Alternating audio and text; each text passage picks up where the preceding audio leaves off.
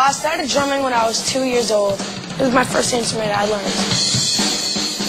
I didn't get my first drum kit till I was four. What mom in the right mind would buy a four-year-old a drum kit?